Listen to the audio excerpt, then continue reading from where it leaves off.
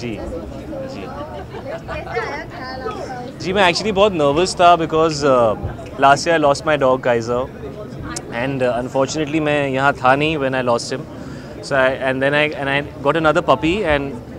I lost him in four days of getting him last year. So uh, I'm a very big dog lover and I was very scared